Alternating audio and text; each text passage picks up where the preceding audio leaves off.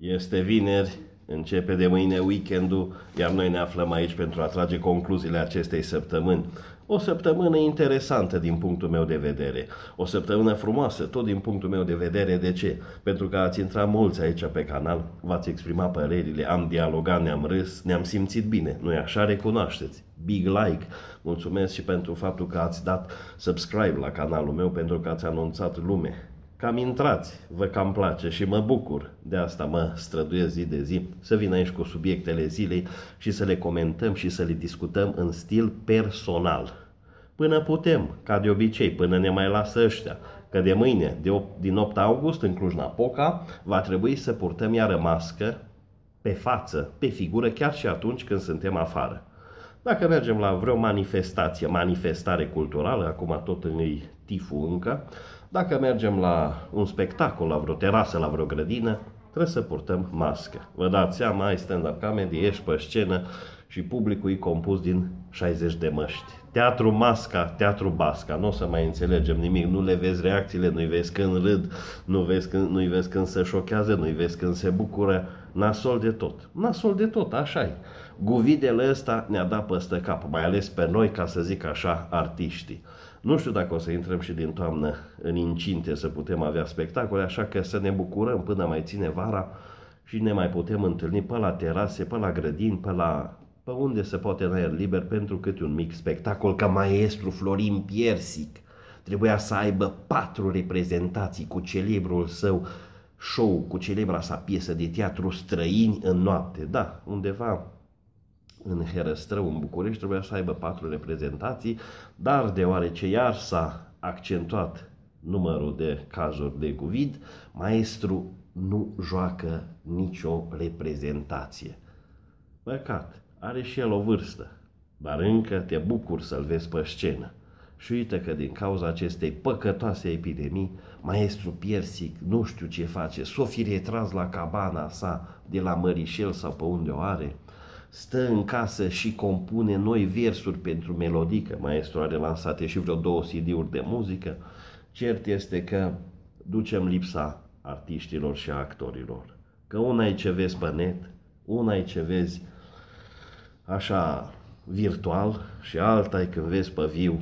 Că de aia e spectacol, de aia s-a născut acest, această formă de a interacționa și de a fi împreună. Mai așteptăm, mai stăm, mai da și alte și alte laturi, alte zone ale economiei sunt grav lovite. Uitați-vă, piața de mașini vechi din Arad, cea mai mare piață de mașini din Arad se închide. Tocmai din acest motiv nu mai sunt clienți, a scăzut foarte mult, a scăzut cererea de mașini.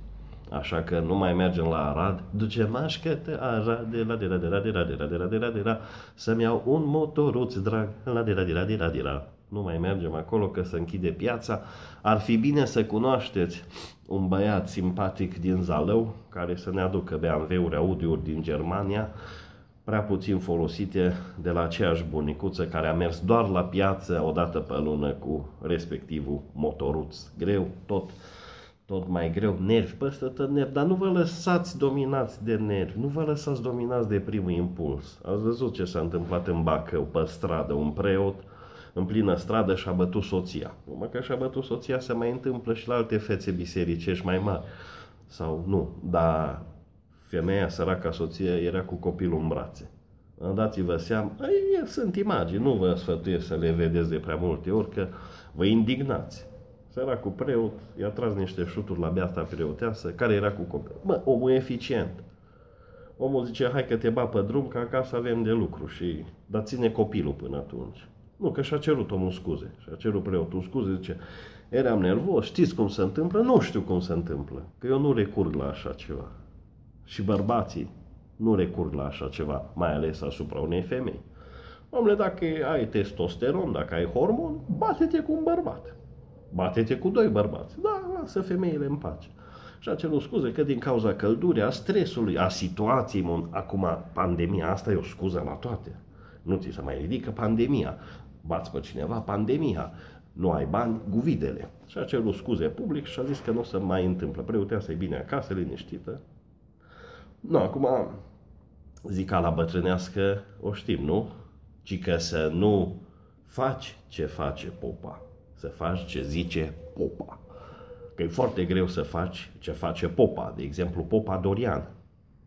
Îl știți pe popa Dorian? Nu știu eu exact ce Actor, cântăreț, om de bine, VIP, influencer, vlogger, persoană publică, șmecher, băiat de băiat. Dorian Popa, da? Și a tras o piscină mare, ci care o piscină foarte mare și ca să se simtă mai bine la piscină și-a luat un ski jet. Decât să te duci pe la cu tarnița, să sperii rațele cu schijetul, mai bine te duci pe piscina ta cu schijetul și zice nu că pe lungime ar fi fost, pe lățime nu încăpea că îmi luam un iaht. Ce frumos, știi? Când ești mic, te joci acolo în Ligian cu rățuștele. Mai crești, dar jucăria îți crește și ea în cap. Și după aia îți iei un schijet. De aia zic, e greu să faci și ce zice popa, nu numai ce face popa. Și domnul Ion Cristo este foarte îngrizorat că generația tânără, tinerii din ziua de astăzi nu mai folosesc tabletele. Va fi o criză la nivel mondial pentru că tinerii din ziua de azi nu mai folosesc tabletele. Vă dați seama, tabletele se fac, tabletele se pun în vânzare, dar tineretul din ziua de azi nu mai folosește tabletele. Danea Cristoiu, tineretul din ziua de azi folosește telefoanele. El încă folosește tabletă pentru că este foarte bună, că poate să scrie cu tastatură pe tabletă sau la tabletă, extraordinar. Nu mai are nici atâta subiecte. Eu v-am mai zis, Cristoiu apare în direct în atâtea emisiuni și în, în atâtea uh, interviuri pe YouTube și în atâtea păreri și luări de opinie, încât el lucrează, vorbește, că de lucrat ăsta nu lucra la viața lui, că știți voi, ăsta vorbește 25 de ore din 24 și nu se epuizează, mi frică de nea Cristoiu.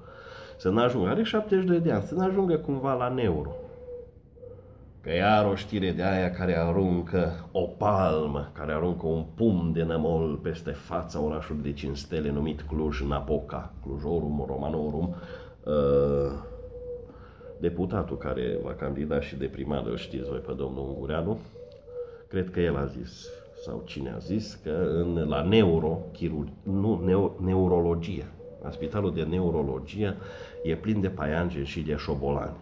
Păi iară revin de la Guvid se trage. Și șobolanii săraci au luat o razna și s-au dus un pic și ei să-și facă un pic de tratament la neurologie. Ce vină au? Mulți șobolani să cred politicieni.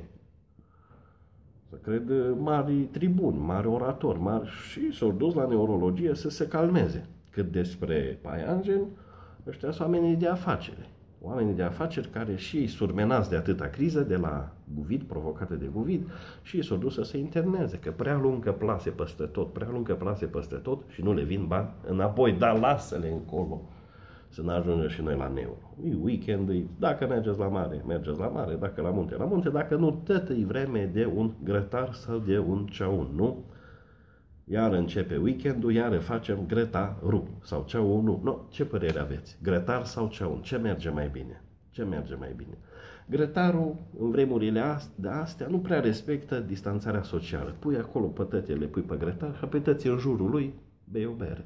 La ceaun se respectă distanțarea socială, că ai lingura aia de un metru jumate și, da? La gretar te cam afumi. Bine că și la ceaun te afumi 4-5 ore până să face, parcă e mai plăcut la grătar, socializezi mai mult, dar și bei mai mult, că la sfârșitul ceaunului nu mai știi, nu, nu, ce facem? Am mâncat? N-am mâncat? La grătar, pac, pac, s-a prăjit un pic mititelo, l-ai dat amă și l-ai mâncat.